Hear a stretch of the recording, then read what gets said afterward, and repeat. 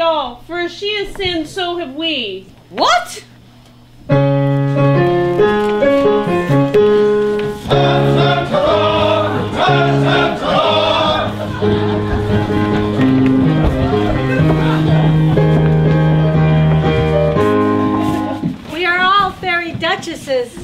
Marchionessas, Countesses, viscountesses, and baronesses.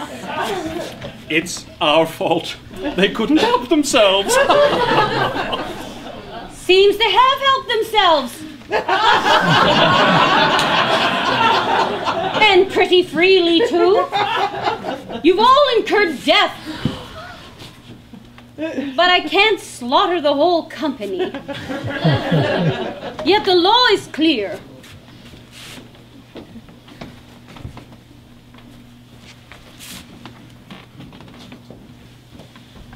Every fairy who marries a mortal must die.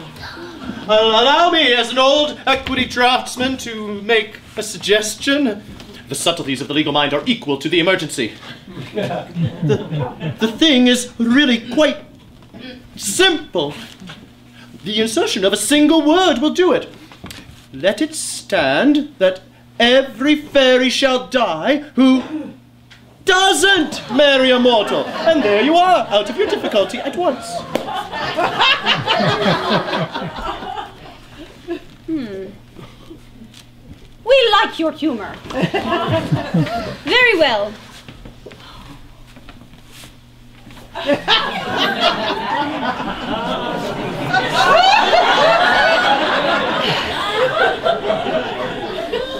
Old Private Willis. Ma'am? It seems to save my life. I must be married. How would you like to be a fairy guardsman? Well, ma'am, I wouldn't think much of the British soldier who wouldn't ill convenience himself to save a female in distress.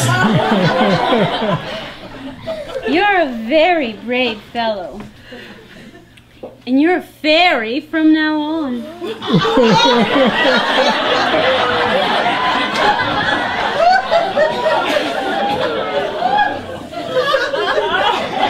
and you, my lords, what say you? Will you join our ranks? Well, now that the peers are to be chosen from people of intelligence, I really don't see much point in us staying down here, do you, Tolloller? None whatever. Good. Then it's away to fairyland we go.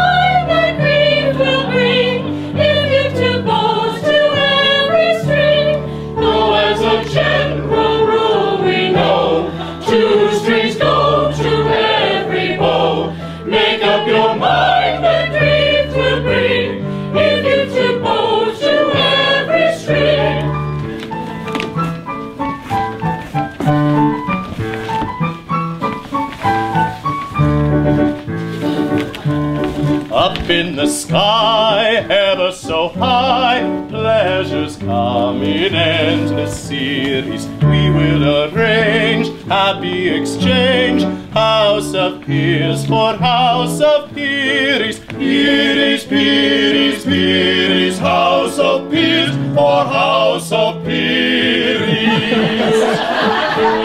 Up in the air, sky high, sky high, free from wars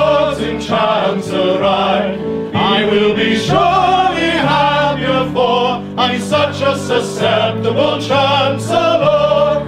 Up in the air, sky high, sky high, free from wards in chancery, I will be surely happier for he's such a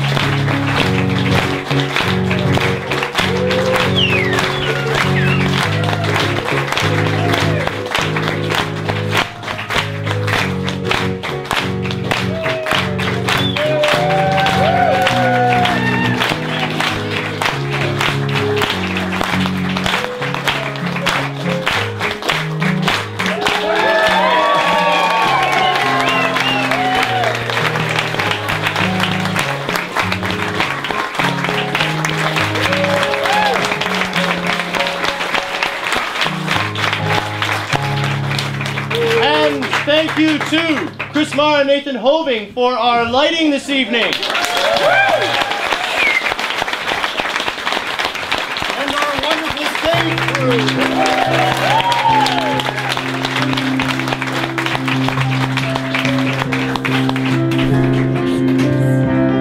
Go away, I shall say, shocking. It is rude, madam, to intrude, madam, with your